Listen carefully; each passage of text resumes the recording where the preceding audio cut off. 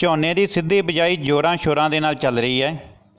ਪਰੰਤੂ ਜਿਵੇਂ ਜਿਵੇਂ ਝੋਨੇ ਦੀ ਸਿੱਧੀ ਬਿਜਾਈ ਕਿਸਾਨਾਂ ਦੁਆਰਾ ਅਪਣਾਈ ਜਾ ਰਹੀ ਹੈ, ਕਿਸਾਨਾਂ ਦੀਆਂ ਮੁਸ਼ਕਲਾਂ, ਦੋ ਪ੍ਰਮੁੱਖ ਮੁਸ਼ਕਲਾਂ ਸਾਹਮਣੇ ਆ ਰਹੀਆਂ, ਉਹਨਾਂ ਬਾਰੇ ਮੈਂ ਗੱਲ ਕਰਾਂਗਾ। ਸਭ ਤੋਂ ਪਹਿਲਾਂ ਕੁਲਦੀਪ ਸਿੰਘ ਸ਼ੇਰਗਲ ਮਰਖਾਈ ਵੱਲੋਂ ਸਾਰੇ ਕਿਸਾਨ ਸਾਥੀਆਂ ਨੂੰ ਸਤਿ ਸ਼੍ਰੀ ਅਕਾਲ। ਜੇਕਰ ਮੇਰੀ ਖੇਤੀ, ਮੇਰਾ ਕਿਸਾਨ YouTube ਚੈਨਲ ਤੇ ਨਵੇਂ ਹੋ, ਲਾਲ ਬਟਨ ਆਪਕੇ ਚੈਨਲ ਸਬਸਕ੍ਰਾਈਬ ਕਰ ਸਕਦੇ ਹੋ। ਫੇਸਬੁੱਕ ਤੇ ਹੋ ਤਾਂ ਫੇਸਬੁੱਕ ਪੇਜ ਮੇਰਾ ਪੰਜਾਬ, ਮੇਰਾ ਕਿਸਾਨ ਜੁਆਇਨ ਕਰ ਸਕਦੇ ਹੋ। ਦੋਸਤੋ, ਇਹ ਖੇਤ ਹੈ ਭਾਰਤੀ ਕਿਸਾਨ ਯੂਨੀਅਨ ਲੱਖੋਵਾਲ ਦੇ ਬਲਾਕ ਪ੍ਰਧਾਨ ਸਰਦਾਰ ਦਰਸ਼ਨ ਸਿੰਘ ਮਹੀਆਂ ਸਿੰਘ ਵਾਲੇ ਦੇ। ਇਹਨਾਂ ਬਾਰੇ ਮੈਂ ਡਿਟੇਲ 'ਚ ਗੱਲ ਅਗਾਹ ਕਰਦਾ ਹਾਂ। ਸਭ ਤੋਂ ਪਹਿਲਾਂ ਆਪਾਂ ਮੁਸ਼ਕਲ ਦੀ ਗੱਲ ਕਰੀਏ। ਦੇਖੋ, ਇਹ ਆਲੂ ਵਾਲਾ ਖੇਤ ਹੈ। ਆਲੂ ਲਾਉਂਦੇ ਆ, ਇੱਕ ਬਹੁਤ ਕਾਮਯਾਬ ਕਿਸਾਨ ਹੈ।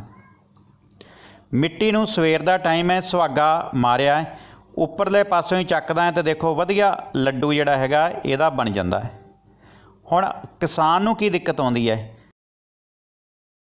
ਕਿਸਾਨ ਖੇਤ ਜਾਂਦਾ ਹੈ, ਦੇਖਦਾ ਹੈ ਕਿ ਖੇਤ ਤਾਂ ਯਾਰ ਉੱਪਰੋਂ ਗਿੱਲਾ ਪਿਆ ਹੈ, ਮਾੜਾ ਜਿਹਾ ਹੋਰ ਸੁੱਕ ਜਾਂਦੇ, ਸ਼ਾਮ ਨੂੰ ਵਾਵਾਂਗੇ। ਸ਼ਾਮ ਨੂੰ ਜਾਂਦਾ ਹੈ ਤਾਂ ਲੋ ਜਿਹੜਾ ਹੈਗਾ ਸਾਰਾ ਪਾਣੀ ਚੱਕ ਕੇ ਲੈ ਜਾਂਦੀ ਹੈ।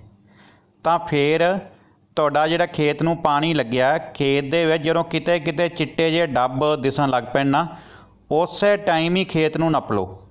ਜੇ ਤੁਸੀਂ ਇਹ ਇੰਤਜ਼ਾਰ ਕਰੋਗੇ ਕਿ ਸਾਰਾ ਖੇਤ ਦੇ ਉੱਤੋਂ ਚਿੱਟਾ ਹੋ ਜੇ, ਤਾਂ ਕੰਮ ਖਰਾਬ ਹੋ ਜਾਏਗਾ। ਇਸ ਕਰਕੇ ਜਦੋਂ ਕੋਈ ਕੋਈ ਚਿੱਟਾ ਡੱਬ ਖੇਤ ਦੇ ਵਿੱਚ ਦਿਸਣਾ ਸ਼ੁਰੂ ਹੁੰਦਾ, ਉਸੇ ਟਾਈਮ ਖੇਤ ਨੂੰ ਵਾਹ ਕੇ ਤੇ ਗਿੱਲ ਨੂੰ ਜਿਹੜਾ ਹੈਗਾ ਨੱਪ ਲਿਆ ਜਾਵੇ। ਦੂਸਰੀ ਪ੍ਰੋਬਲਮ, ਇਹ ਮੈਂ ਤੁਰ ਰਿਹਾ, ਤੁਸੀਂ ਦੇਖ ਰਹੇ ਹੋ ਕਿ ਇੱਕ ਜਗ੍ਹਾ ਤੋਂ ਨੀਵਾ ਹੈ। ਜਿੱਥੋਂ ਟਾਇਰ ਲੰਘਿਆ ਨਾ ਟਰੈਕਟਰ ਦਾ, ਉਹ ਜਗ੍ਹਾ ਨੀਵੀਂ ਹੈ। ਤਾਂ ਇਸ ਜਗ੍ਹਾ ਤੇ ਦਾਣੇ ਜਿਹੜੇ ਹੈਗੇ ਆ, ਉਹ ਬਾਹਰ ਡਿੱਗ ਰਹੇ ਆ। ਤਾਂ ਅਸੀਂ ਕੀ ਕਰਨਾ ਹੈ ਕਿ ਆ ਜਿਹੜੀ ਟਾਈਨ ਹੈ, ਇਹ ਜਿਹੜਾ ਤੁਹਾਡਾ, ਇਹ ਕਿਹਨੂੰ ਕੀ ਕਵਾਂਗੇ ਆਪਾਂ, ਫਾਲਾ ਹੈ। ਤਾਂ ਇਹਦੀ ਪੂਰੀ ਆ ਲੱਤ ਜੀ ਉੱਤੋਂ ਲੈ ਕੇ ਥੱਲੇ ਤੱਕ, ਜਿੱਥੋਂ ਟਾਇਰ ਲੰਘਦਾ ਹੈ।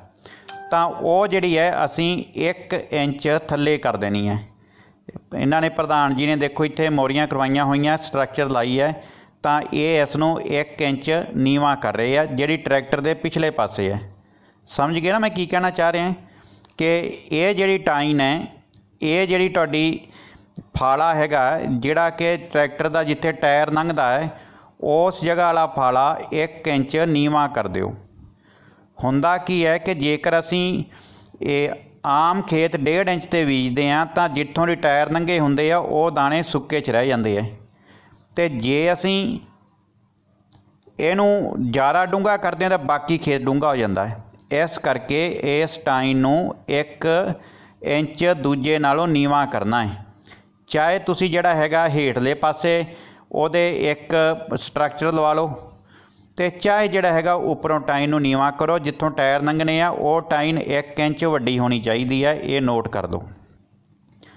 ਗੱਲ ਕਰਿਆ ਸੀਗਾ ਕਿ ਭਾਰਤੀ ਕਿਸਾਨ ਯੂਨੀਅਨ ਲੱਖੋਵਾਲ ਦੇ ਬਲਾਕ ਪ੍ਰਧਾਨ ਸਰਦਾਰ ਦਰਸ਼ਨ ਸਿੰਘ ਮਈਆਂ ਵਾਲਾ ਇੱਕ ਕਾਮਯਾਬ ਕਿਸਾਨ ਹੈ ਯੂਨੀਅਨ ਦੇ ਕਾਮਯਾਬ ਲੀਡਰ ਵੀ ਹੈ, ਇੱਕ ਕਿਸਾਨ ਵੀ ਕਾਮਯਾਬ ਹੈ, ਹੱਥੀਂ ਕੰਮ ਕਰਦੇ ਹੈ, ਇਹ ਇਹਨਾਂ ਦਾ ਬੇਟਾ ਨਾਲ, ਇਹਨਾਂ ਦੇ ਭਰਾ ਹੈ ਤੇ ਬਹੁਤ ਵਧੀਆ ਕਿਸਾਨ ਹੈ ਜਿਹੜੇ ਕਿ ਖੇਤੀ ਦੇ ਵਿੱਚ ਕਾਮਯਾਬ ਹੈ ਤੇ ਸਾਲ ਦੇ ਵਿੱਚ ਤਿੰਨ ਤਿੰਨ ਫਸਲਾਂ ਲੈਂਦੇ ਹੈ।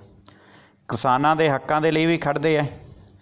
ਤਾਂ ਇਹਨਾਂ ਨੇ ਇੱਕ ਚੰਗਾ ਸੰਦੇਸ਼ ਦਿੱਤਾ ਅੱਜ ਕਿ ਸਾਡੀਆਂ ਇਹ ਮੈਂ ਕਿਸਾਨ ਯੂਨੀਅਨ ਦਾ ਲੀਡਰ ਹੋਣ ਦੇ ਨਾਤੇ ਇਹ ਨਵੀਂ ਤਕਨੀਕ ਆਪਣੇ ਵੀ ਖੇਤ ਦੇ ਵਿੱਚ ਜੇ ਮੈਂ ਅਪਣਾਵਾਂਗਾ, ਤਾਂ ਮੈਨੂੰ ਦੇਖ ਕੇ ਮੇਰੇ ਕਿਸਾਨ ਵੀ ਨਵੀਂ ਤਕਨੀਕ ਨੂੰ ਅਪਣਾਉਣਗੇ। ਇਹ ਦੇਖੋ, ਇਹ ਸਾਡੀ ਜਿਹੜੀ ਮਿੱਟੀ ਹੈ ਨਾ, ਇਹ ਆਲੂਆਂ ਵਾਲੀ ਮਿੱਟੀ ਹੈ, ਮੇਰਾ ਪਿੰਡ ਵੀ ਬਿਲਕੁਲ ਇਹਦੇ ਨਾਲ ਹੈ। ਤਾਂ ਇਹ ਰੇਤਾ ਮਿੱਟੀ ਹੈ, ਸਾਡੇ ਥੋੜ੍ਹਾ ਜਿਹਾ ਦਿੱਕਤ ਹੁੰਦੀ ਹੈ ਕਿ ਨਵੀਂ ਜਿਹੜੀ ਜਲਦੀ ਸੁੱਕ ਜਾਂਦੀ ਹੈ। ਤਾਂ ਅਸੀਂ ਫਿਰ ਇਹਨੂੰ ਤਰ ਵੱਤਰ ਖੇਤ ਨੂੰ ਹੀ ਬੀਜਦੇ ਹਾਂ।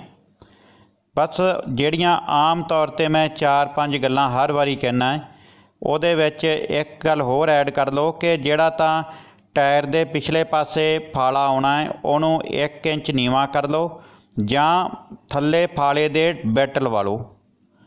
ਬੀਜ ਨੂੰ 12 ਘੰਟੇ ਚੰਗੇ ਤਰੀਕੇ ਨਾਲ ਭਿਉਂ ਲਓ 1.5 ਇੰਚ ਦੀ ਡੰਗਾਈ ਤੇ ਤਰਵੱਤਰ ਖੇਤ ਦੇ ਵਿੱਚ ਬੀਜੋ, ਸਵੇਰ ਦੇ ਜਾਂ ਸ਼ਾਮ ਦੇ ਟਾਈਮ ਤੇ ਬੀਜੋ ਤੇ ਵੱਡੀ ਗੱਲ ਜਿਹੜੀ ਹੈਗੀ ਹੈ ਜਦੋਂ ਖੇਤ ਦੇ ਵਿੱਚ ਚਿੱਟੇ ਜਿਹੇ ਡੱਬ ਪੈਣ ਸ਼ੁਰੂ, ਪੈਣੇ ਸ਼ੁਰੂ ਹੋ ਜਾਣ, ਉਸੇ ਟਾਈਮ ਤੇ ਗਿੱਲ ਨੂੰ ਨੱਪ ਕੇ ਤੇ ਵਾਹ ਕੇ, ਜਿਵੇਂ ਦੇਖੋ ਇਹਨਾਂ ਨੇ ਖੇਤ ਬਹੁਤ ਸੋਹਣਾ ਤਿਆਰ ਕੀਤਾ ਹੈ 4 ਇੰਚ ਤੱਕ ਇਹਨਾਂ ਨੇ ਦੂਰਾ ਕਲਟੀਵੇਟਰ ਮਾਰਿਆ, ਉਸ ਤੋਂ ਬਾਅਦ 'ਚ ਤਿੰਨ ਵਾਰੀ ਨੱਪ ਕੇ ਸੁਹਾਗਾ ਮਾਰਿਆ, ਹੱਥ ਦੇ ਨਾਲ ਵੀ ਖੇਤ ਨਹੀਂ ਪੱਟਿਆ ਜਾਂਦਾ।